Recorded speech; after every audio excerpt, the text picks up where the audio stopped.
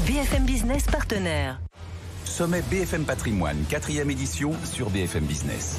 Et c'est le 21 juin prochain donc que se tiendra ce quatrième sommet BFM Patrimoine. On se retrouvera donc tous au Carrousel du Louvre à Paris pour ce rendez-vous désormais incontournable qui réunira l'ensemble de la communauté de la gestion de patrimoine. Et comme à chaque édition, eh nos partenaires nous accompagnent durant les semaines qui précèdent l'événement pour illustrer tel ou tel aspect de la gestion de patrimoine, de la stratégie euh, d'investissement. Notre euh, invité ce matin, Patricia Cavé, bonjour. Bonjour. Cédric. Merci d'être avec nous, directeur des ventes du Crédit Mutuel IM. On commence par la petite question, euh, le passage obligé, le portrait, pour nous rappeler qui est le Crédit Mutuel IM. Alors, Crédit Mutuel Investment Manager, c'est une entité qui a été créée il y a deux ans et demi, un peu plus de deux ans et demi. C'est le centre métier de gestion d'actifs euh, du groupe Crédit Mutuel Alliance Fédérale. Donc, ça regroupe sept entités de gestion euh, du groupe Crédit Mutuel Alliance Fédérale, à savoir Crédit Mutuel Asset Management, BLI, CIC Private Dette, CIC Market Solution, Crédit Mutuel Capital euh, Privé qui fait de l'infrastructure euh, et Dubli Transatlantique Gestion Bon, bah voilà, c'est posé là. Euh, et avec vous, on va se, pencher un petit peu sur l'actualité, notamment la réglementation MIF 2 qui est en train d'évoluer. du coup, quelle est un petit peu, quelles sont les, grandes lignes de l'actualité des prochains mois? Oui, en fait, la principale actualité qui nous occupe tous, c'est l'intégration des préférences ESG euh, dans MIF 2 euh, à partir de cet été, le, le, 2 août.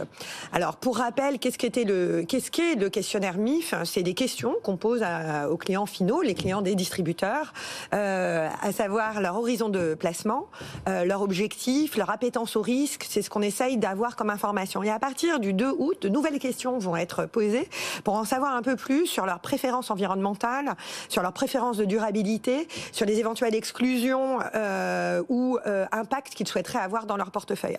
Alors c'est une petite révolution euh, que certains ont un peu loupé, hein, puisqu'on va avoir plus d'informations. Et donc, c'est aussi la, la possibilité d'avoir plus de transparence, et, mais surtout de faire un affinage des solutions d'investissement qu'on va proposer à ces clients finaux. Et alors, justement, comment est-ce qu'on se prépare euh, quand on est, euh, bah, comme vous, gérant d'actifs, euh, et qu'on voit que les distributeurs, les clients finaux vont être finalement impactés par tout ça Oui, ben alors déjà il fallait, il faut savoir en fait que c'est dans l'ADN de, de, de, notre groupe tout ce qui est la finance responsable, puisqu'on est une banque à mission. Hein. Donc on avait déjà une offre assez importante dans le domaine. Et pour rappel, Crédit Mutuel Asset Management, c'est 96% des fonds qui sont SFDR 8 et 9. D'accord. à fin avril. mais ces changements réglementaires, on doit euh, travailler dessus et donc structurer en fait une offre plutôt d'un point de vue euh, donc administratif et réglementaire et surtout on doit travailler euh, sur ce qu'on appelle les EET qu'on va devoir fournir à partir du 2 août.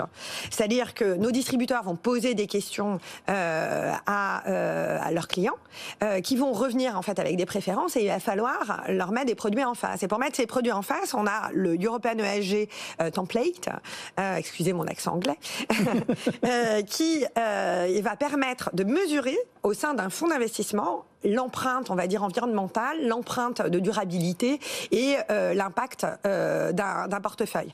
Alors, c'est compliqué. Euh, on est en transition parce que pour pouvoir, nous, asset manager, gérants d'actifs, donner en fait ces EET, il nous faut les reporting ESG des entreprises. Donc, un autre acronyme, les, les fameuses CSRD. Mais on va y arriver, hein, on va y arriver. Donc, on va donner un EET allégé à partir d'août et on devrait, d'ici la fin de l'année, euh, nous, comme euh, mes, confrères de la place, donner en fait euh, ces fameux T remplis avec plus de 600 lignes dans les portefeuilles. Vous avez rappelé l'engagement du groupe, etc.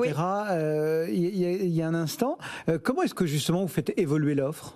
Ah ben on continue à, faire notre travail, hein, tout simplement. Donc l'intégration ESG, e les fonds ISR. On vient juste chez Crédit Mutuel Asset Management de lancer un fonds qui s'appelle CMAM Objectif Emploi France. Mais surtout, en fait, ce qui est intéressant, c'est on va aller un tout petit peu plus loin vers l'impact. Alors on a déjà des produits à impact euh, chez nous. Je pense à CMAM Green Bond, euh, par exemple. Je pense à un fundraising qui est en cours euh, chez BLI avec Impulsum. je pense aussi à dans l'offre illiquide Siloé Infrastructure dans tout ce qui est énergie renouvelable. Mais nous sommes en train de continuer à nous renforcer en fait pour nous engager encore plus. Eh bien voilà quelques idées à avoir en tête. Le Crédit Mutuel IM donc qui nous accompagne sur euh, cette quatrième édition du sommet BFM Patrimoine. Patricia Cavé, directeur donc des ventes du Crédit Mutuel euh, Investment Manager. Merci beaucoup d'être venu à vous, nous rendre visite. On se retrouvera donc le 21 juin prochain au Carousel du Louvre. Très bonne journée.